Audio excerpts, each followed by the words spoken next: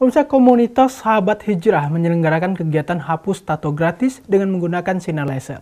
Hapus tato berlangsung di Masjid Jami MUI Kota Surakarta yang diikuti ribuan peserta yang datang dari berbagai wilayah di tanah air. Hijrah adalah pilihan. Setiap insan yang ingin kembali ke jalan robnya, niscaya Allah bentangkan jalan kemudahan baginya.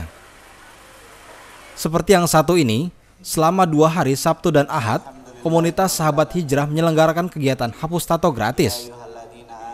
Hapus tato berlangsung di Masjid Jami MUI Kota Surakarta dan diikuti ribuan peserta dari berbagai wilayah di Indonesia. Salah satu pesertanya ialah Joko, warga asal Klaten, Jawa Tengah. Dirinya mengaku telah memiliki tato sejak tahun 2002. Joko menyampaikan alasan ingin menghapus tatonya karena ia ingin berhijrah menjadi manusia yang lebih baik rasanya di hapus satunya seperti apa Pak?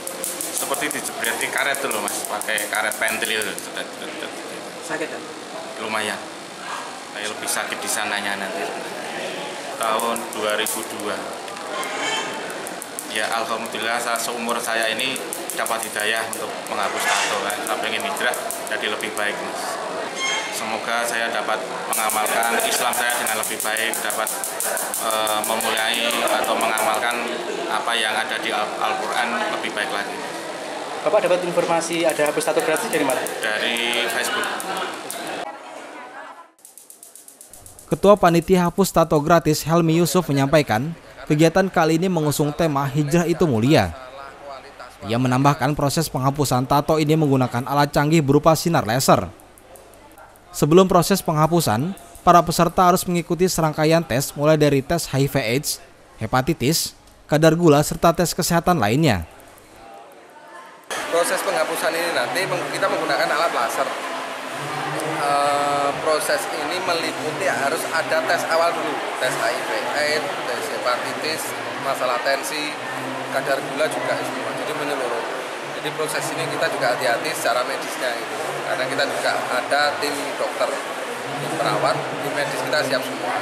Jadi, proses penghapusan itu nanti kita langsung uh, di, dioles anestesi dulu baru kita langsung itu uh, tindakan tindakan langsung dengan menggunakan laser itu.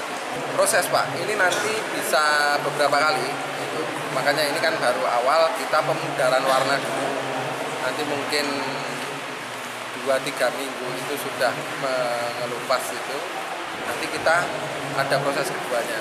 Nanti kalau proses kedua bisa nanti sudah hilang kalau belum ya nanti ada proses ketiga. Karena kan masalah kulit dan masalah kualitas warna ini macam-macam. Kita insya Allah akan menuntaskan masalah tato itu sampai Hapus tato gratis terselenggara atas kerjasama dari berbagai pihak, baik dari Islamic Medical Service, Solo Medicare, Baitul Mal Hidayatullah, serta MUI Kota Surakarta. Helmi berharap kegiatan hapus tato gratis ini dapat memberi manfaat bagi masyarakat luas. Mas Agung Ramantio memberitakan dari Solo, Jawa Tengah.